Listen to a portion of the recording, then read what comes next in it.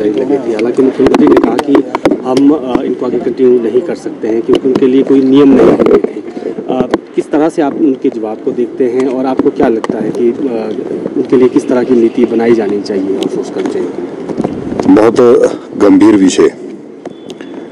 Covid के दौरान जिन outsource कर्मियों को पूर्व की भारतीय जनता पार्टी की सरकार ने अंगेज किया था। उन सबको वर्तमान की सरकार ने नौकरियों से हटा दिया, उनकी सेवाएँ समाप्त कर दी। इसी विषय को लेकर आज मेरा प्रश्न था और माननीय मुख्यमंत्री जी से मैंने प्रश्न भी किया कि क्या इनको दोबारा से रखा जाएगा या भविष्य में कोई ऐसी योजना है तो सरकार की ओर से बिल्कुल साफ़ तौर पर मना है कि ऐसी कोई योजना नहीं है कि इन आउटसोर्स कर्मियों को रखा जाएगा। हमने कहा कि ये बहुत संवेदनशील मुद्दा है। कोविड ऐसी महामारी पूरी दुनिया में आई जो किसी को भी पता नहीं था कि ये कोविड है क्या उसमें।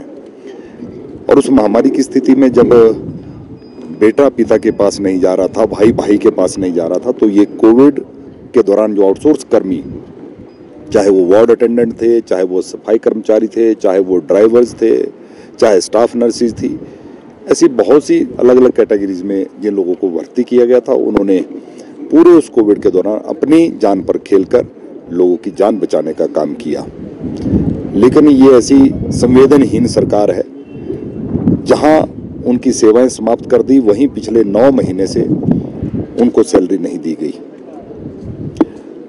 और इसके साथ ही मैंने दूसरा जो मुद्दा उठाया कि कोविड के दौरान मेरे विधानसभा क्षेत्र सुंदरनगर के सिविल हॉस्पिटल में 500 एलपीएम की कैपेसिटी का एक पीएसए प्लांट स्थापित किया गया था। जयराम ठाकुर जी, पूर्व मुख्यमंत्री जी ने उसका उद्घाटन भी किया था। और लोगों को, क्योंकि सुंदरनगर का सिविल हॉस्पिटल 200 बेडेड हॉस्पिटल है, और जहाँ बहुत से डिस्ट्रिक्ट हॉस्पिटल से ज़्यादा ओपीडी है। उस ऑक्सीजन प्लांट के माध्यम से हमारे क्षेत्र और साथ लगते क्षेत्र की जनता की सेवा हो रही थी, और दो प्लांट को चलाने के लिए ऑपरेटर आउटसोर्स पर रखे गए थे। उन आउटसोर्स कर्मियों को भी हटा दिया और वो प्लांट बंद कर दिया गया।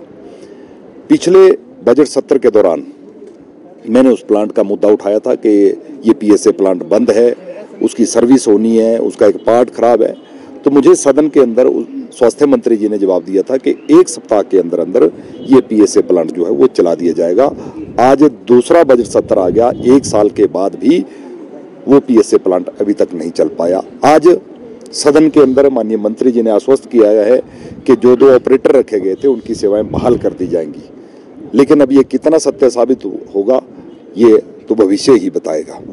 और उसके साथ जो प्लांट को चलाने की मैंने बात कही कि उसकी सर्विस होनी है, कोई पार्ट उसका खराब है, उसको लेकर भी मुख्यमंत्री जी ने कहा है कि मैं अधिकारियों से रिपोर्ट मंगवाऊँगा।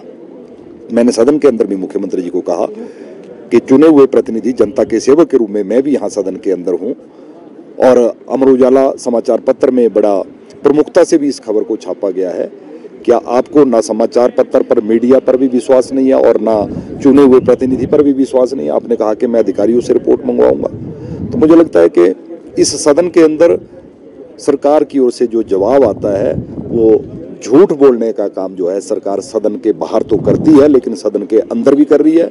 मैं सीधा सीधा आरोप सरकार पर लगा रहा हूँ कि प्रदेश के मुख्यमंत्री जी भी और प्रदेश के मंत्री भी सदन के अंदर झूठ बोलकर सदन को गुमराह करने का प्रयास पिछले चौदह महीने से कर रहे हैं।